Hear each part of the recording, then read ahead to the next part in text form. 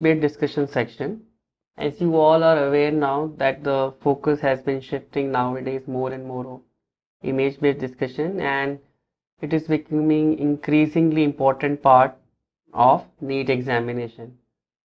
So I have brought few important images pertaining to common clinical scenarios.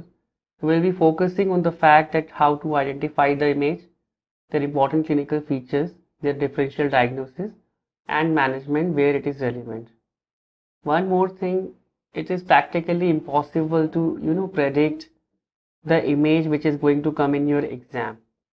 So that is why I'm trying to focusing on the fact what are the clinical pointers, what are the hints which might lead you to identifying the image and hence making the diagnosis and answering that question right so these images they are just as an example towards that approach. In exam any image could be asked anything can be asked. I mean it is very difficult to predict what are the important topics. So i have tried to cover majority of the common clinical scenarios and their relevant images. So with this we are going to start our image based discussion now. So let us see at this first image. So these are the x-ray findings of a common neonatal condition right? So in this first x-ray as you can clearly see hyperexpansion. Hyperexpansion is diagnosed or it is identified by the fact you have to count the number of spaces. 1 2 3 4 5 6 7 8 and 9 if there are more than 8 spaces then by definition it is hyper expansion right? And next x-ray is showing atelectic changes atelectic changes that is collapse of the alveoli. In next there is pneumomediastinum because of air leaks. So as you can see appreciate the hyperlucencies hyperlucencies here so it is because of the air leaks. And in this the pneumothorax is very clearly apparent and you can make out the whole marking. This pneumothorax. And in next one there is diffuse pneumonitic changes. Right? So this is diffuse pneumonitis. So all these markers all these pointers are indicating that it is meconium aspiration syndrome. Meconium aspiration syndrome.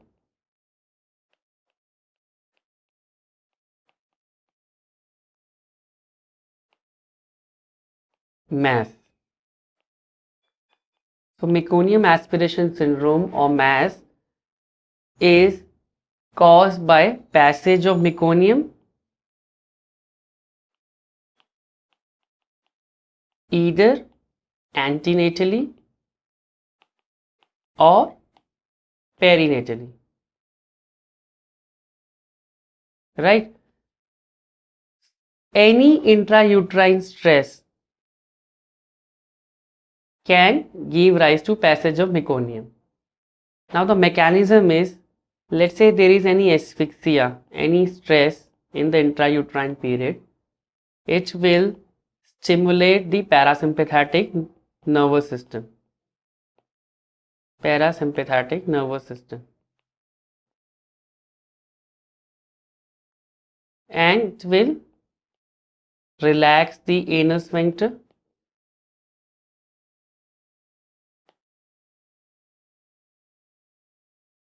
and hence it will lead to passage of meconium. And it also opens the glottis and hence this meconium can easily go via the glottis into the lungs causing meconium aspiration syndrome. So this is the pathophysiology.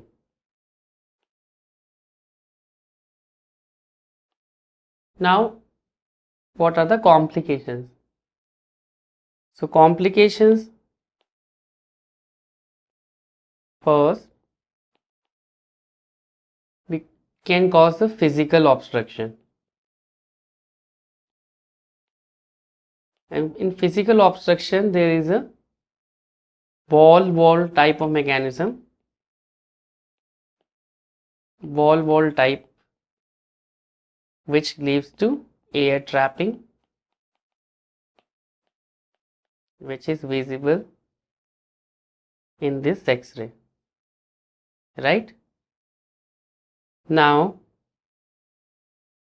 next thing apart from the air trapping in 20 to 30 percent it can give rise to air leaks which is visible in this third x-ray. Now, second important complication is chemical pneumonitis. Because meconium obviously is an irritant. Meconium is an irritant and hence it will lead to diffuse chemical pneumonitis which is clearly evident in last X-ray. Lastly, it will give rise to infections as meconium is a very good culture medium.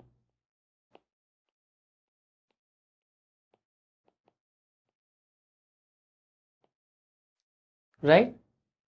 Risk factor post-term babies are most prone very important reason because of associated uteroplacental insufficiency.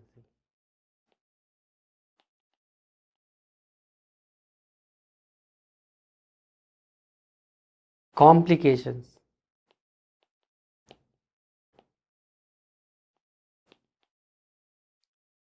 So these are basically the mechanisms in which they are causing the complication and this is complication or sequelae I should say. So most dreadful complication or sequelae of meconium aspiration syndrome is PPHN persistent pulmonary hypertension. Now during the fetal circulation right side of the pressure is greater than the left side and this is physiological. Now after birth as PDA closes gradually right sided pressures starts falling and roughly by 4 to 5 weeks they become less than left sided pressure.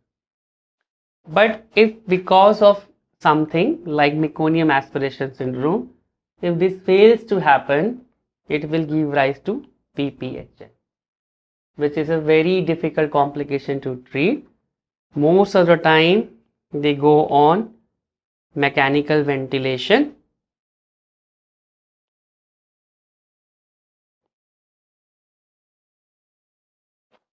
mechanical ventilation and we use a special type of ventilation for them. High frequency oscillatory ventilation. High frequency oscillatory ventilation. Other drugs. Inhaled nitric oxide, sildenafil and bosentan and it is diagnosed by echo. That's a confirmatory test. Clinically you can appreciate that the SpO2 difference between preductal and postductal is greater than 10. So this is a clinical pointer that this baby might be having pulmo persistent pulmonary hypertension. But definitive diagnosis is done by echo in which you demonstrate increased right-sided pressure. Right? So this is everything about meconium aspiration syndrome. Now we'll move on to our next pic. So this is our second pic. So what all you can see in this pic? That like one person is holding the hair of a child right? And you can clearly see there is a light band here in here right? So these are normal pigmented hair.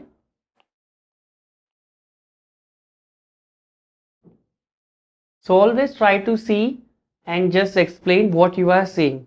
Not necessarily you will come to the conclusion immediately but with the provided information if you are just you know start describing whatever you are saying in many cases you will reach the conclusion correctly.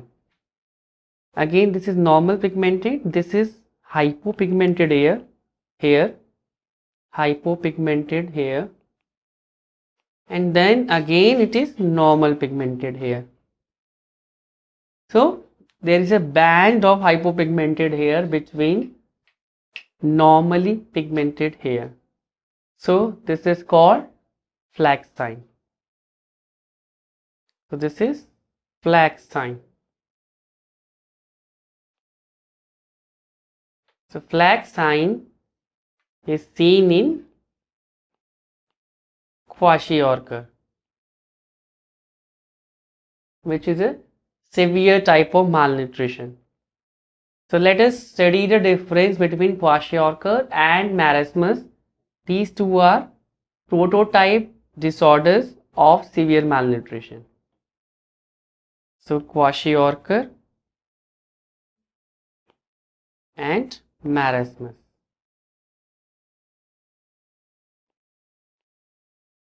So kwashiorkor general appearance is sugar baby appearance.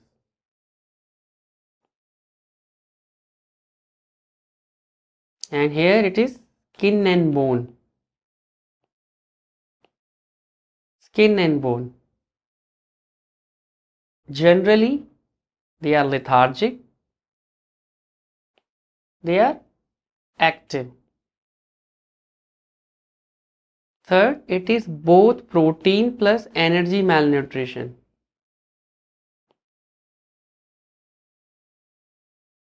and this is just only energy meta malnutrition.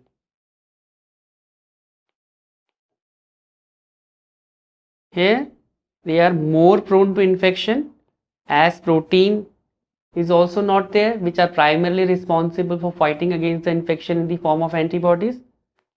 So they are more prone to infection. Marasmus they are less prone to infection. And hence they have poor wound healing.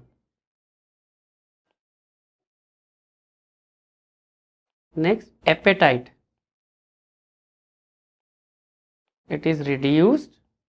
It is voracious here. It is voracious here. Next, prognosis. It is poor in kwashiorkor it is better in marasmus. One more difference is there. There is hepatomegaly plus edema, very important, which is seen in kwashiorkor and they are absent in marasmus. Right? So these are the prototype diseases of malnutrition. Now, we there are like some more peculiar features which are associated or terms which are described in relation classically to these two disorders. So one we have already understood flag sign which are nothing but hypopigmented hairs in between the normally pigmented hair. Now similarly there is another term which is associated with kwashiorkor that is flaky paint dermatosis which is again seen in kwashiorkor. In marasmus because of severe loss of subcutaneous tissue and fat it gives rise to monkey like faces monkey like faces and because of loose skin fold in buttock area.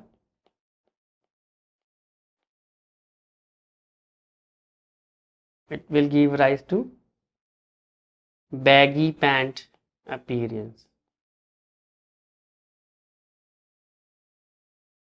Baggy pant appearance. Right? So these were the major differences between kwashiorkor and marasmus. Now we'll move on to the next picture next image